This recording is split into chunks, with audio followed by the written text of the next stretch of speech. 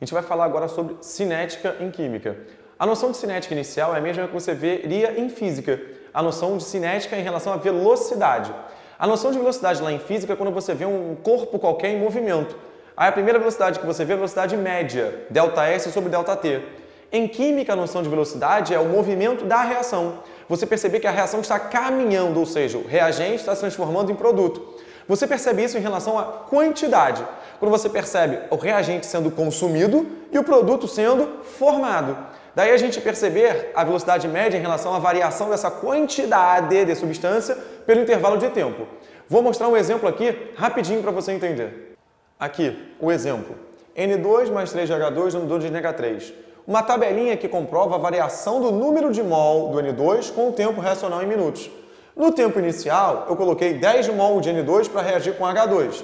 Depois de 2 minutos de reação, essa quantidade de N2 caiu para 6 mol. Mais 2 minutos de reação, essa quantidade caiu para 4 mol. Se o N2 é um reagente, a quantidade dele vai diminuindo com o passar do tempo.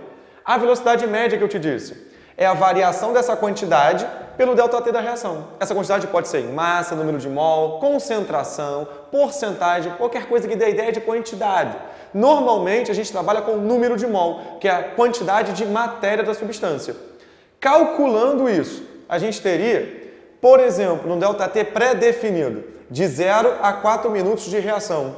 Como a velocidade média do N2 vai ser medida em função da variação do número de mol pelo ΔT, eu teria nesse caso 4, que é o número de mol final, menos 10, que é o número de mol inicial sobre a variação do tempo, de 0 a 4 minutos, 4 menos 0. A velocidade de consumo da I negativa do N2 é de menos 1,5 mol por minuto. Eu posso calcular dentro de uma mesma reação a velocidade média em relação a qualquer participante, mesmo que eu não tenha dados na tabela em relação ao H2 nem ao NH3. Eu posso calcular uma velocidade média em função do outro, como se fosse estequiometria.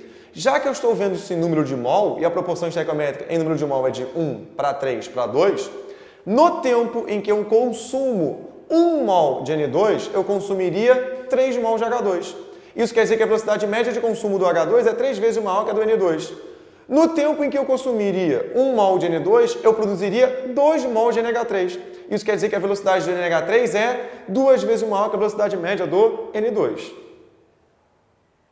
Colocando a conta que eu acabei de mencionar, a velocidade média do H2 seria 3 vezes a velocidade média do N2. Os dois são consumidos, então os dois teriam valores negativos de velocidade. Só que, para a gente trabalhar com qualquer um deles, ou seja, até mesmo o produto em função do reagente, normalmente se diz em módulo. O módulo da velocidade média do H2 é 3 vezes o módulo da velocidade média do N2. O módulo da velocidade média do NH3 é duas vezes o módulo da velocidade média do N2 uma vez que o NH3 é produzido, velocidade média para ele seria positiva, enquanto que o N2 é consumido, velocidade média seria negativa. Tirando o sinal, não tem problema nenhum, mantém-se a proporção. Então, como a gente já tinha calculado a velocidade média do N2 de 1,5 mol por minuto em módulo, a velocidade média em módulo do H2 é de 4,5 mol por minuto e do NH3 é de 3 mol por minuto. Alguns fatores podem influenciar na velocidade da reação. Por isso que as reações podem ser aceleradas ou retardadas dependendo do que você muda em relação a esses fatores. Os três fatores mais importantes são a temperatura, a concentração dos reagentes e a superfície de contato entre eles. Para você entender todos eles, a gente resume isso na chamada teoria dos choques. Para acontecer uma reação química, tem que ter o contato entre os reagentes, o choque entre as partículas dos reagentes. Até porque, o que você já viu em termoquímica, para acontecer uma reação, primeiro você tem que quebrar as ligações dos reagentes. Para isso, o choque. Tudo aquilo que aumente a quantidade de choques ou aumente a intensidade com que o choque ocorra, favorecendo a quebra de uma ligação, favorece também a reação, ou seja, acelera a reação.